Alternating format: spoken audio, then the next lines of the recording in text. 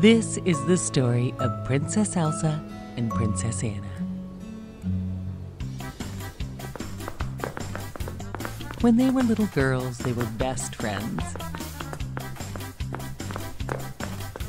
Princess Anna was one of the only people in the world that knew Princess Elsa's secret. Elsa had the special power to make snow and ice. One night, Elsa used her secret power and filled the grand ballroom with snow so the sisters could play.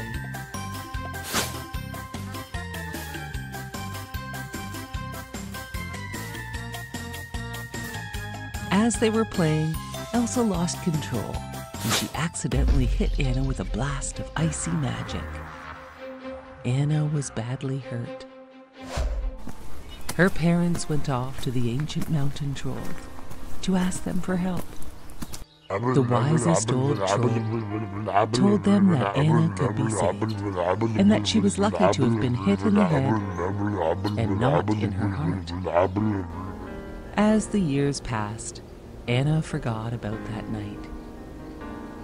To keep Elsa's special gift a secret from everyone else, their parents surrounded the castle with walls and never let anyone inside. It seemed whenever Elsa had strong feelings, her magic powers would spill out.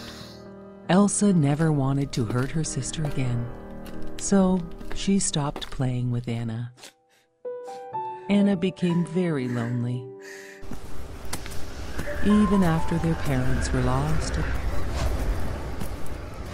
the two sisters didn't spend any time playing together. Years later, it was time for Elsa to become queen.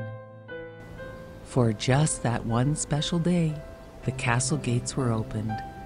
Hundreds of guests attended Elsa's coronation ceremony.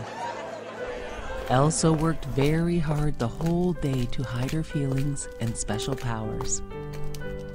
At the party, Anna danced with a handsome prince.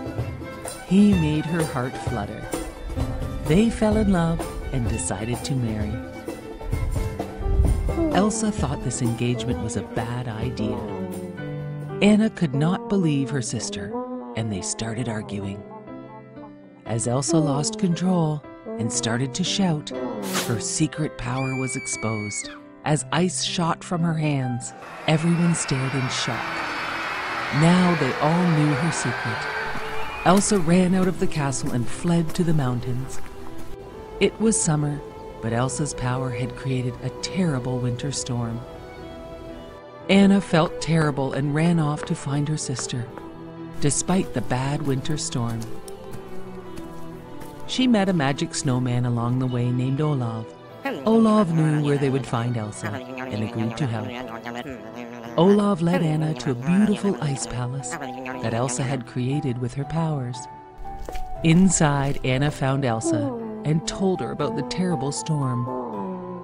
Anna told Elsa she must come back and help, but Elsa did not want to hurt anyone, and they started fighting about her return.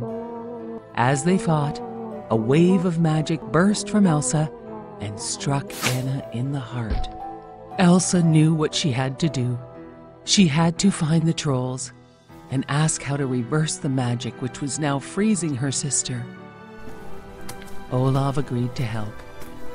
Elsa and Olaf found the ancient mountain troll, and he said, Only an act of true love can thaw Anna's frozen heart. Elsa brought Anna back to their parents' castle to find the prince Anna was to marry, as he could save Anna with his true love. He laughed when he saw her and threw the sisters in the dungeon. I only pretended to love her to get the castle and kingdom, said the prince. Afraid and locked in the dungeon, Elsa looked at her frozen sister. All of a sudden, the prince came in with a sword. He swung it at Anna, and the sword shattered on her frozen body. Elsa grabbed her and held her frozen sister tight, and suddenly, Anna began to thaw. As Olaf watched them, he remembered the wise old troll and what he said. An act of true love will thaw her frozen heart. The two sisters' love had saved them and their kingdom. They were best friends again. Even in the summer, Elsa always made Olaf snow so he could never melt. And now the castle gates were wide open. The evil prince was long gone, and they all lived happily ever after.